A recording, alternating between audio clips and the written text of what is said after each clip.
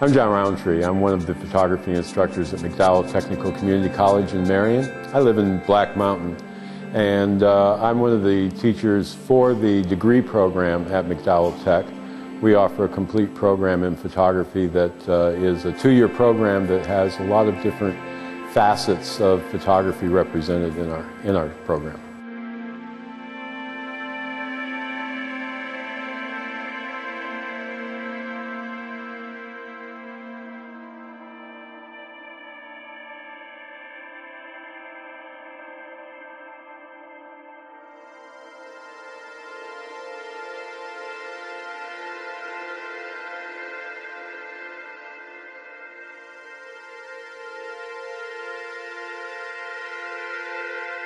We're actually into uh, about our 20th, we're past our 20th year in the program. So we've been in existence for quite a long time.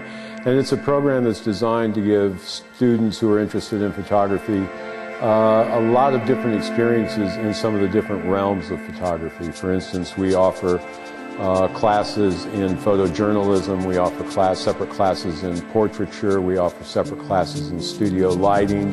Uh, so when students come into our program, they get a very, very broad uh, sampling of some of the career avenues that they can pursue if they wish to continue making photography their career.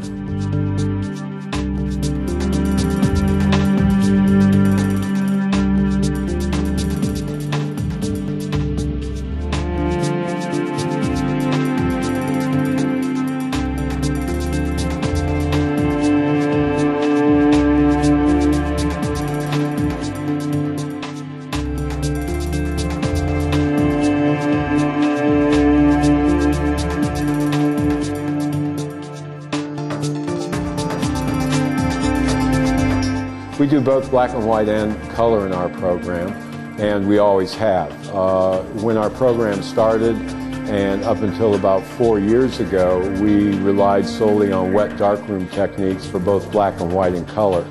However, uh, about three years ago, we stopped using wet darkroom techniques for color and went exclusively digital.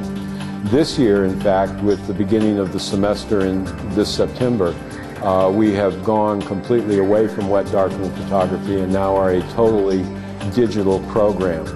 When you see the black and white and the color photographs, it's uh, uh, a result of what has happened in the digital world, really, as more and more film becomes unavailable or other chemicals become unavailable. Color has been dominated by digital for several years now for a lot of reasons, not the least of which is that with the old wet darkroom techniques in color, you were never able to produce a permanent archival print. In other words, over time it would fade. And you can see that yourself just by looking at old photo albums. Black and white prints, on the other hand, have taken the inkjet world a lot longer to get correct, but finally they have uh, figured out the technology to make the black and white prints look really nice. So especially since we have switched over to an all digital program, we want to give our students the opportunity to work in both realms.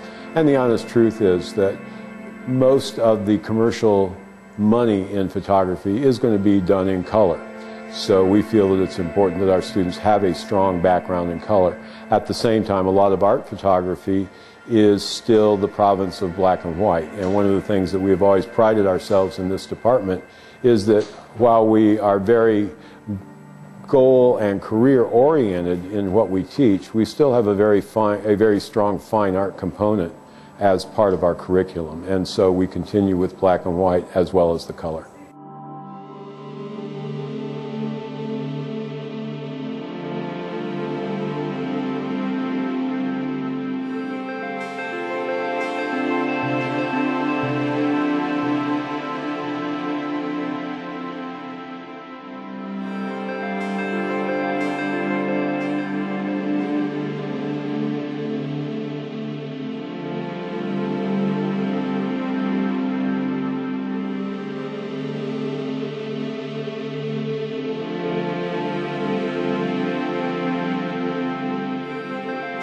Pieces that are in the show here at City Hall eh, are the result of a summer program called Portfolio Development, where students in both first year and second year of the program work to put together a very strong portfolio since a portfolio is the most important piece that a photographer has to showcase their work and hopefully get some employment. The pieces here have all been done by students who have graduated now from the program. This was their final project. They had a choice of a number of, of subjects that they could pursue related to what they wanted to do once they graduated from the program. So we have a variety of photographs here from students who are looking to go into photojournalism. We have landscape photographs, portraits, and uh, just a, a broad range that reflects the interests of our graduates through the program.